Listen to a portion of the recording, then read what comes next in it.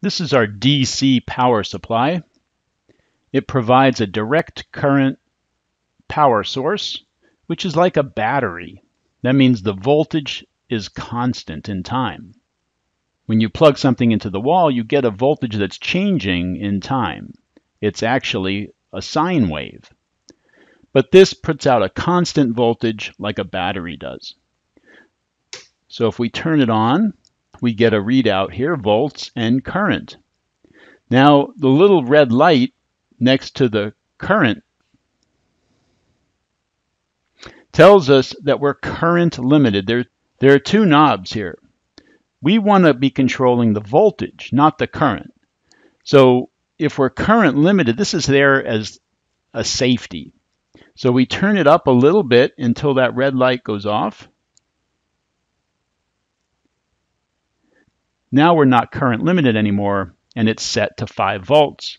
We can change that. We can increase or decrease this down and up. Let's go to 15.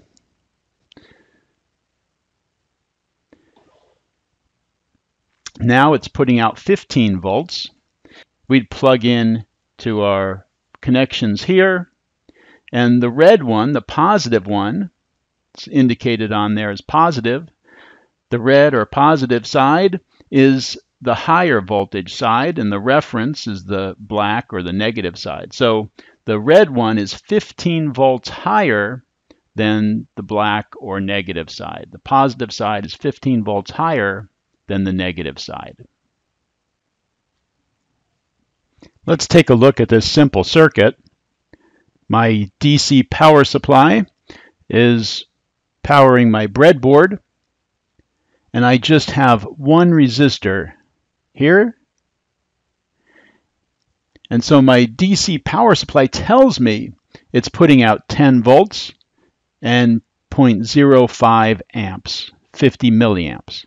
So let's hook up my multimeter set to DC voltage.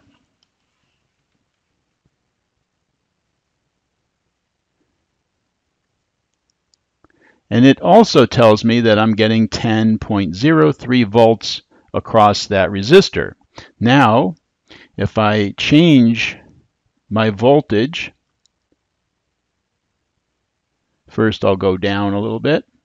6.6, and my multimeter agrees. And if I go up, 14.9, 15.02, they're pretty, oh, there we go, 15.0, 15.0. So to at least the first decimal place, they agree. Now let's take a look at current.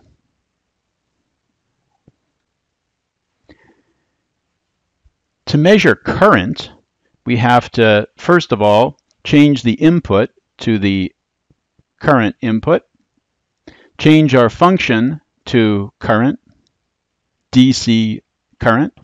A is for amps, that's a current measurement. And then we have to disconnect something in our circuit. So I'm going to unplug that wire there, and I'll reconnect it through the meter because the meter has to be hooked up in series. So I'll put this on my resistor and the current will go through my circuit, through the resistor, through my meter, back to the power supply. So my meter is now in series with my resistor.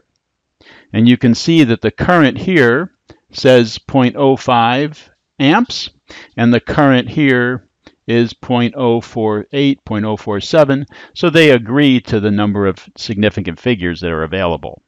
If I change this up or down a little bit, now we're at 70 milliamps, and if I turn it down, about 20 milliamps. So when you're using this meter to measure current, you have to be in series with whatever you're measuring current with. That means you have to disconnect something in your circuit and reconnect it through the meter.